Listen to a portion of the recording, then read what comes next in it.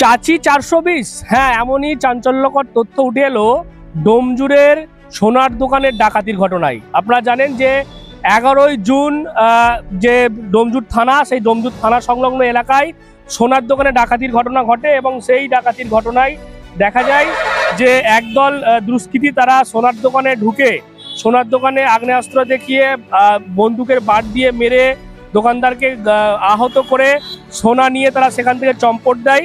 এবং তারপরে কিন্তু পুলিশ তদন্তে নামে দেখা গেল প্রায় এক মাস পর এই এ, যে উম, ঘটনা সেই ঘটনার মূল পান্ডা চাচি অর্থাৎ আশা দেবীকে বিহার থেকে গ্রেপ্তার করেছে আহ, হাওড়া পুলিশ ও এসটিএফ বিহারের এসটিএফ যেমনটা জানা যাচ্ছে যে বিহার থেকেই তাদেরকে ট্রানজিট রিমান্ডে হাওড়ায় নিয়ে এসে আজকে তাদেরকে আদালতে পেশ করা হয়েছে आपने किस अरेस्ट किया आसनसोल में रिलेशन था वहाँ आए थे और और नहीं, रूम तो हम नहीं डोमजूर गए।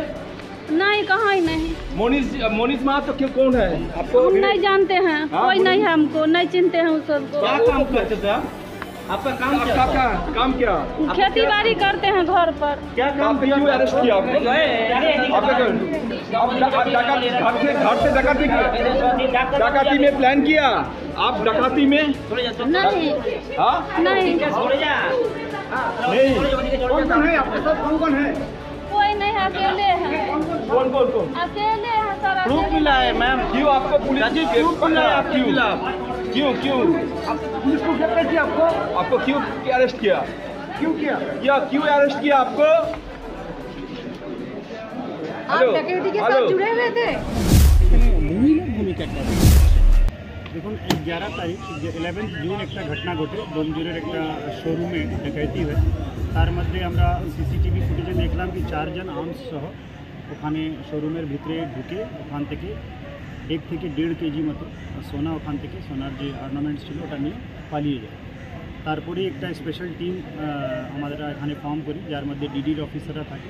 মেনলি এসিপি ডিডি উনি আছেন, মমিতা দাস ঘোষ ইন্সপেক্টর সুদীপ্ত পানিত রহি ইন্সপেক্টর শীর্ষেন্দু কুন্ডু আর ডোমজুর থানার কিছু অফিসারকে নিয়ে একটা টিম ফর্ম করে।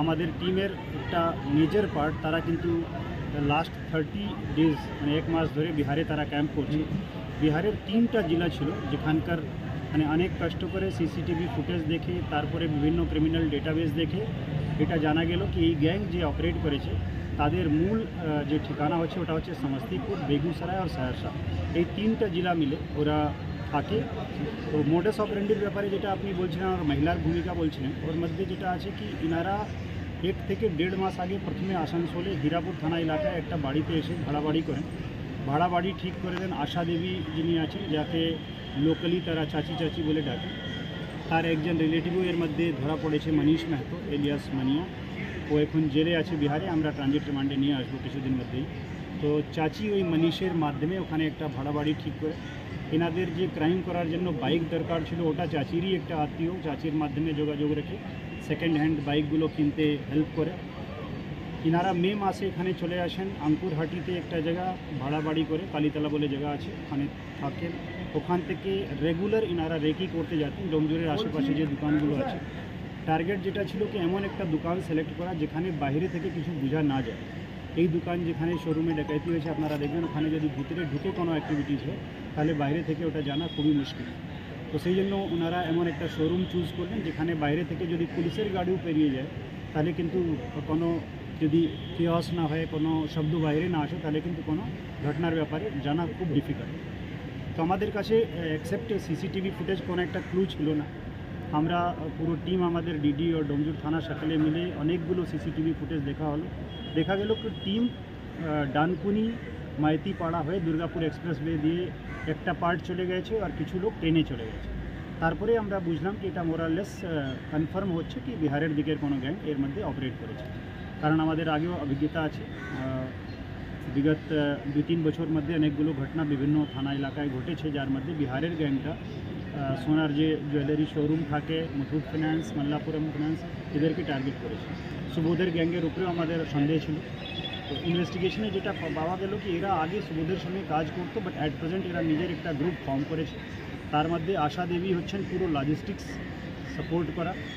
এখান থেকে পালিয়ে যাওয়ার পরে আশা দেবী এদের থাকার ব্যবস্থা বিভিন্ন জায়গা করে দিয়েছেন। যখনই কোনো জায়গা পুলিশের রেড হচ্ছে, সঙ্গে সঙ্গে ঠিকানা চেঞ্জ করে অন্য জায়গায় ব্যবস্থা করে দেওয়া। জুয়েলারি ডিসপোজাল কীভাবে হবে ওখানকার লোকাল জুয়েলার্সদের সঙ্গে টাই আপ করে জুয়েলারি ডিসপোজালে হেল্প করা গাড়ির কথা আমি আগেই বললাম তো আজকে আমরা দুইজনকে ট্রানজিট রিমান্ডে নিয়ে এসেছি তার মধ্যে আশাজি আশা দেবী এলিয়াস চাচি একজন আছেন মহিলা যার কথা বলছিলাম তার বাড়ি হচ্ছে সমস্তিপুর দলসিং সরাই থানা এলাকায় আর সেকেন্ড পার্সন আছেন আলোক কুমার পাঠক ওনার বাড়ি হচ্ছে বেগুসরাই এর ছাড়া আমরা অ্যারেস্ট করেছি রবীন্দ্র সাহিনীকে মনীষ মেহতো এলিয়াস মানিয়া আর বিকাশ ঝা পাঁচজনকে আমরা এখনও পর্যন্ত এই কেসে ধরতে পেরেছি কিন্তু এই কেসে আহ, মূল পান্ডা যে ছিল বিকাশ ঝা আর মনীষ যারা মেন লিড রোল প্লে করেছিল অন গ্রাউন্ড পিওতে বা শোরুমে ঢুকে তারা কাস্টাডিতে আছে তাদেরকে খুব শীঘ্রই আমরা নিয়ে আসবো তারা এখন আহ, জেলে আছে জেসিতে আছে আর একজন দুইজন আর যারা এর মধ্যে কিছু সাপোর্টিভ রোল প্লে করেছিল মাল ডিসপোজাল থেকে শুরু করে অনেক কিছু কিছু জুয়েলারি শপের ওনাররাও আছে তাদের উপরে আমরা নজর রেখেছি রেড হয়েছে খুব শীঘ্রই আশা করি আমরা যে দুইজন বাকি আছে তাদেরকে আমরা লোকাল লোকাল কিছু ইনপুট আমরা পেয়েছি যারা রেকিতে হেল্প করতো তাদেরকে আমরা নজরে রেখেছি এখনও তাদের এগেনস্টে আমরা কোনো অ্যাকশন নিইনি কারণ ডাইরেক্ট এভিডেন্স ক্রাইম মধ্যে এখনও পর্যন্ত আমরা তার পাইনি বাট তাদের ভূমিকা নিয়ে একটা সাসপিশন আছে এই চাচি কতদিন ধরে এই ধরনের ক্রাইমে হেল্প করছে মানে পান মোস্টলি যেটা দেখা যায় কি এই ধারণার ক্রিমিনাল কিন্তু বাইরের রাজ্যে বেশি ক্রাইম করে যাতে লোকাল তার সাপোর্ট সিস্টেম মধ্যে কোনো বাধা না হয় তো সমস্তিপুরের আহ, যেখানে ইনার বাড়ি আছে ওই জায়গায় ইনার এগেনস্টে কোনো ক্রিমিনাল রেকর্ড নেই বাট বিকাশ ঝা মনীষ মেহতো ইনাদের এগেনস্টে ক্রিমিনাল কেসেজ আছে আর স্পেশালি মনীষের এগেনস্টে রবীন্দ্র সাইনির এগেনস্টে অনেকগুলো কেস আছে তো চাচির আর কি ওখানে কোনো কেসে ইনভলভমেন্ট ডাইরেক্টলি ওনারা পেয়েছেন কিনা ওটা আমরা এখন অপেক্ষা করছি ওনারা খুব শীঘ্রই হয়তো অন্য কোনো স্টেটে এখনও পর্যন্ত আমরা পাইনি। বাট আমাদের কেসে খুবই প্রোয়েক্টিভলি উনি সমস্ত লজিস্টিক অ্যারেঞ্জমেন্ট মধ্যে পার্টিসিপেট করেছিলেন আর মাল ডিসপোজালে উনি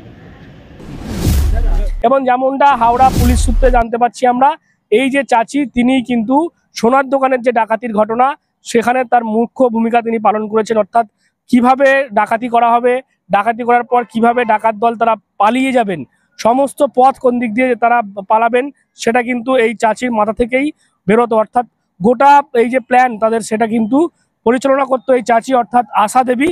এবং এই ঘটনায় ইতিমধ্যেই বিহার থেকে আশা দেবীকে গ্রেপ্তার করেছে পুলিশ এবং পাশাপাশি আরও চারজনকে, মোট পাঁচজনকে এই ঘটনায় গ্রেপ্তার করা হয়েছে।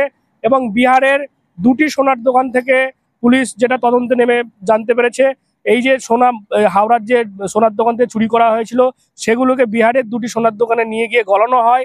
সেখানে গলিয়ে কিন্তু সোনার আলাদা আকার দেওয়া হয়েছে। সেটাও কিন্তু পুলিশ বাজেয়াপ্ত করে তদন্তের স্বার্থে তারা নিয়ে এসেছে এবং গোটা ঘটনার তদন্তে নেমে পুলিশ ইতিমধ্যে এই ঘটনায় পাঁচজনকে যেমন গ্রেপ্তার করল, কিন্তু চাঞ্চল্যকর যে তথ্য উঠে এলো, এই চাচি, তিনি কিন্তু মূল পাণ্ডা এই ঘটনার এমনটাই পুলিশ বলছে। এবং আজকে তাদেরকে হাওড়া আদালতে তোলা হয়েছে।